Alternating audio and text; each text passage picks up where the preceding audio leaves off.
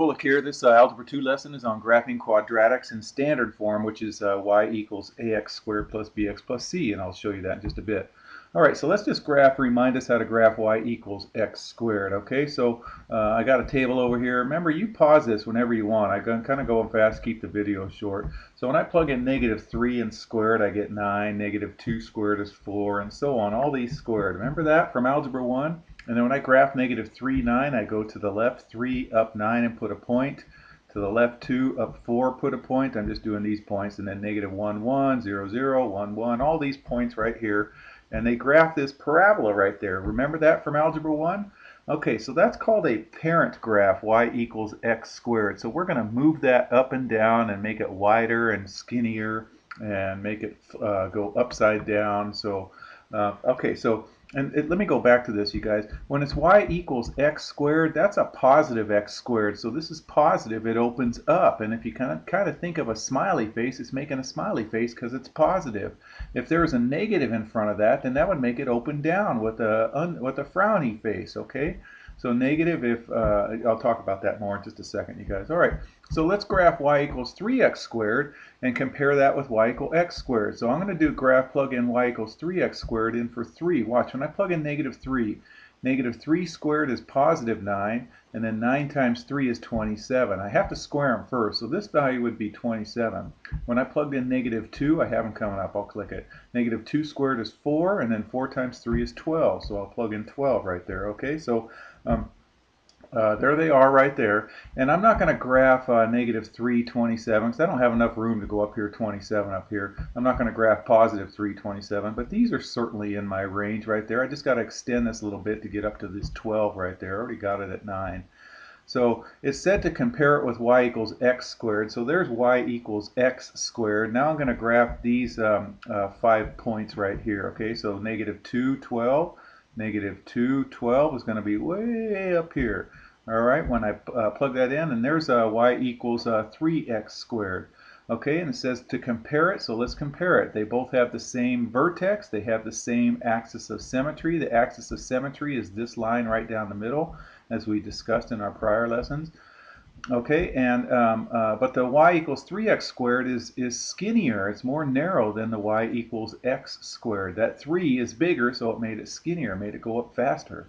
All right, let's do this. y equals, uh, graph y equals negative 1 fourth x squared.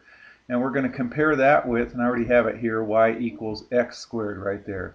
All right, so I have a, a t-chart, excuse me, and I'm going to plug in negative 6. Negative 6 squared is 36, and 36 times a negative 1 fourth is like 36 divided by negative 4, which is negative 9. Okay, so when I graph all of those guys, and then so I'm going to get negative 9 when I put in all uh, positive 6 squared. Let's do negative 4. Okay, I think I did that right here. Yeah, I did. Okay, so negative 4 squared is 16, and then 16 divided by negative 4 is negative 4. Okay, so I'll get a negative 4 here and here. When I plug in negative 2, Negative 2 squared is 4, and then 1 fourth of that is 1, but it's negative 1, and then finally 0. Okay, those are easy enough. I can graph those. I didn't graph the negative 9s right there because I didn't have enough room down there. Okay, so it says to compare it. All right, so uh, they have the same vertex. They have the same axis of symmetry, but uh, the one with the negative 1 fourth is reflected over the x-axis, and it's wider. The smaller the number in front of the x is, or the absolute value of this is, the more wide it's going to be. And the bigger the absolute value of this is, and the more skinny it's going to be. Okay, so that negative 1 fourth re uh, reflected it over the x-axis right here. Here's the x-axis. And it made it wider. All right, so um, let's graph y equals x squared plus 2. Okay, this is the same as y equals x squared, and y equals x squared is that regular parabola going down there, except it's going right there at plus 2. So we just put the vertex right there at plus 2, and there it is right there. Okay, so check this out too, you guys. If, as long as you know where the vertex is, it goes over 1, it goes up 1 squared. Over 2, up 2 squared, which is 4 from the vertex. So if I went over 3 from the vertex, it's going to go up 9. Okay? So, um, and same with this one. Let me go back to this guy right here. When I, it's this negative 1 fourth, once I knew where the vertex was, I go over 1, it goes uh, down, because it's negative, a fourth of 1 squared. Well, 1 squared is 1, a fourth of that is just 1. Over 2, 2 squared is 4, but a fourth of that is 1. It would go down 1.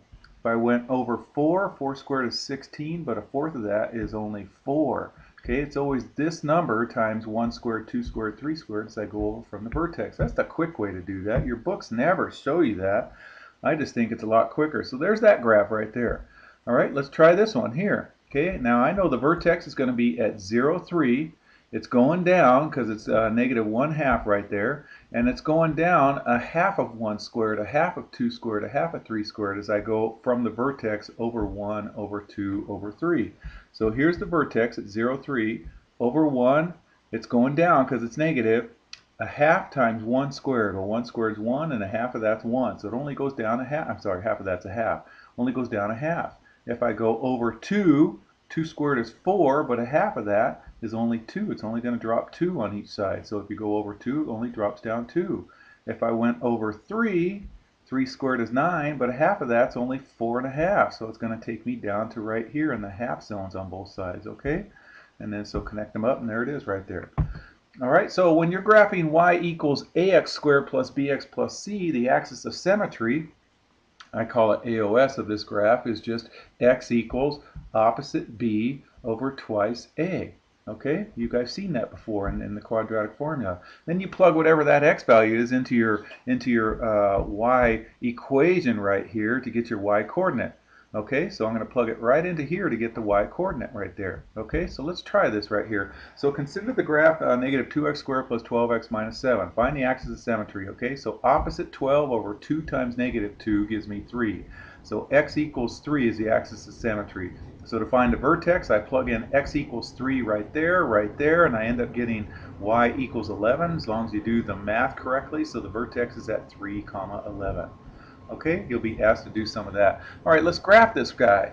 Okay, so going to find the axis of symmetry, which is 1. So there's the axis of symmetry right there. So opposite b over 2a. And then plug 1 into that equation to get your y coordinate. So the vertex is at, uh, is at uh, 1, negative 1.